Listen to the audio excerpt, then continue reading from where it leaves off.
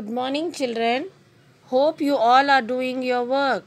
Today we will be doing reader work, page number 42. Name these pictures and sentence reading.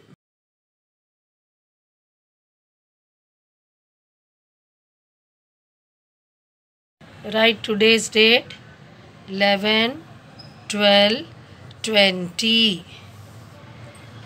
पढ़कर बताओ मोर रोटी, शोर, घोड़ा, टोकरी, रोहन। मोर, रोटी, शोर, घोड़ा, टोकरी, रोहन। चित्रों के सही नाम पर सही का निशान लगाओ। Children see this pictures here three words are given, which is the correct word. Uh, against that word we have to put the right tick mark okay? This is the picture of ghoda.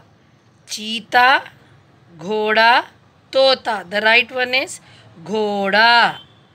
This is the picture of ghoda horse. And see this picture. Koyal morni tokri. Yes this is the picture of tokri basket. So, this is the right one. चित्रों को देखकर ओ की मात्रा this is ओ की मात्रा children लगाकर शब्द पूरे करो you have to write the missing मात्रा in this see this picture this is the picture of tota ताकू ओ की मात्रा तो ताकू आ की मात्रा ता तोता this is the picture of joker Jakhu, ओ की मात्रा, जो, कर कर joker this is the picture of ढोलक, ढाकू, ओ की मात्रा, ढो, लक लक, ढोलक। अक्षरों को मिलाकर लिखो। चाकू, ओ की मात्रा, चोट चोट। चाकू, ओ की मात्रा, चोट चोट। राकू, ओ की मात्रा रो हन हन, रोहन।